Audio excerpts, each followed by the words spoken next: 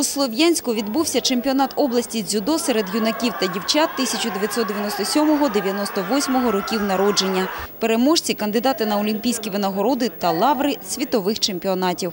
Дзюдо – это популярный вид единоборств, это вид спорта, который является олимпийский. Именно здесь, м, быть может, э, выступают сейчас будущие чемпионы Украины, мира, Олимпийских игр. У ході гарячих боїв двох чемпіонів отримав Слов'янськ. Анастасія Боленцева скінчила усі зустрічі перемогами. Первую встречу я бросила сразу на япон. Вторую, конечно, немного ну, пришлось потрудиться. Более сильная девочка. Єгор Мамонов також став першим. Він у захваті від змагань. Каже, боротися було легко.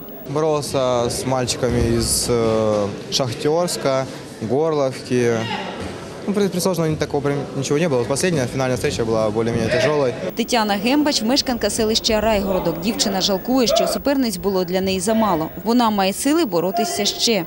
Жалко, что было мало, хотелось, хотелось бы побольше побороться для того, для себя, но думаю, на Україні буде намного більше. На змаганнях боролися 150 юнаків та дівчат майже зі всіх міст Донецької області. Слов'янськ обирає для подібних змагань неодноразово, бо тільки тут стаціонарно та стабільно працюють дві великі спортивних зали та три поля татамі.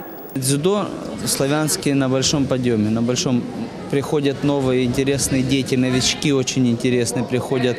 Сейчас вот на сбор уехало э, за счет министерства три спортсмена. Там Белецкий Кирилл, чемпион Украины, Сыроватская, чемпионка Украины и Паничева Алина. Слов'янськ вже має переможницю перших юнацьких олімпійських ігор у Сінгапурі. Нею стала Ксенія Дарчук. Сподіваємося, і на других олімпійських юнацьких іграх наші спортсмени виборють призові місця.